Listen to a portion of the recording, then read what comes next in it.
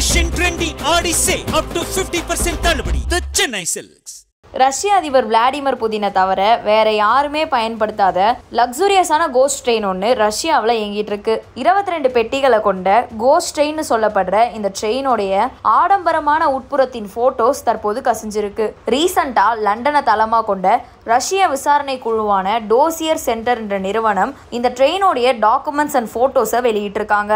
மேலும் புதினோட ரயில் அதிகமான பாதுகாப்பு அம்சங்கள் குண்டு துளைக்காத கதவுகள் ஜன்னல்களை கொண்டு இருக்கிறதாவும் உயிர் காக்கிற மெடிக்கல் எக்யூப்மெண்ட்ஸ் மற்றும் ஃபெசிலிட்டிஸ் இருக்கிறதாவும் தெரிவிக்கப்பட்டிருக்கு. அதிபர் புதின் ரஷ்யாவுக்குள்ள வசதியாகவும் ரகசியமாகவும் பயணிக்கிறதுக்காக இந்த ட்ரெயின் டூ தௌசண்ட் எயிட்டீனில் உருவாக்கப்பட்டிருக்கு. இந்த ட்ரெயினில் ஒரு முழுமையான ஜிம் மசாஜ் பார்லர் ஒரு முழுமையான பாத் ஸ்டீம் ரூம் பெட்ரூம்ஸ் மற்றும் அலங்கரிக்கப்பட்ட டைனிங் ரூம்ஸ் உட்பட பல ஃபெசிலிட்டிஸ் இருக்கு. இந்த சொஃபஸ்டிகேட்டட் ரயிலில் புத்தின் வசதியாக பயணிக்க மட்டும் இல்லாமல் தன்னை கவனித்து கொள்ளவும் முடியும்.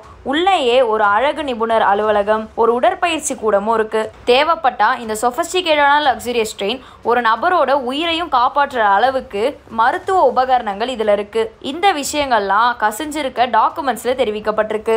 அது மட்டும் இல்லாம இந்த ட்ரெயின்ல ஒரு மூவி தியேட்டர் ஒரு full car housing diesel power generator மற்றும் புதின் வெளி உலகத்தோட இணைந்திருக்க அனுமதிக்க தகவல் தொடர்பு அமைப்போட கூடிய பல பெட்டிகள் இந்த ட்ரெயின்ல இருக்கு. மேலும் ட்ரெயின்ல இருக்க ரூம் ரூமானது கேட்கும் சாதனங்களை பயன்படுத்துவதை தடுக்கும் வகையில் உருவாக்கப்பட்டிருக்கு. ஏன்னா அதில் ஆடியோ இன்ஃபர்மேஷன் லீக்கேஜ்லேருந்து பாதுகாக்கிற ஹார்ட்வேர் நிறுவப்பட்டிருக்கு. இந்த ட்ரெயினோட விலை சுமார் எழுபத்தி நான்கு மில்லியன் டாலர் அதாவது ஆறுநூறு கோடின்னு மதிப்பிடப்பட்டிருக்கு. ஆனுவல் மெயின்டெனன்ஸ் காஸ்ட் மட்டுமே சுமார் ஃபிஃப்டீன் பாயிண்ட் எயிட் மில்லியன் டாலர்னு மதிப்பிடப்பட்டிருக்கு. அதாவது இந்திய ரூபாய் மதிப்பில் நூற்றி முப்பது கோடி. இந்த ட்ரெயின் முதன் முதல்ல டூ தௌசண்ட் ஃபோர்டீனில் தான் தொடங்கப்பட்டுச்சுனும் டூ தௌசண்ட் டுவெண்ட்டி டூவில் உக்ரைன் மீது ரஷ்யா படையெடுப்பை தொடங்கியப்போ இந்த ட்ரெயினோட பயன்பாடு அதிகரிக்க தொடங்கியதுன்னு சொல்லப்படுது. இருந்தாலும் இந்த ட்ரெயின் தொடர்பான தகவல்களை மறுத்திருக்க ரஷ்ய அதிபர் மாளிகை அதிபர் புத்தினிடம் இது போன்ற எந்த ரயிலும் இல்லைன்னு தெரிவிச்சிருக்காங்க. எனினும் கடந்த இரண்டாயிரத்தி பதினெட்டாம் ஆண்டு நவம்பரில் இந்த ட்ரெயினில் ஆய்வு கூட்டம் நடைபெற்றதா தற்போது கசிந்திருக்க டாக்குமெண்ட்ஸ் தெரிவிச்சிருக்கு.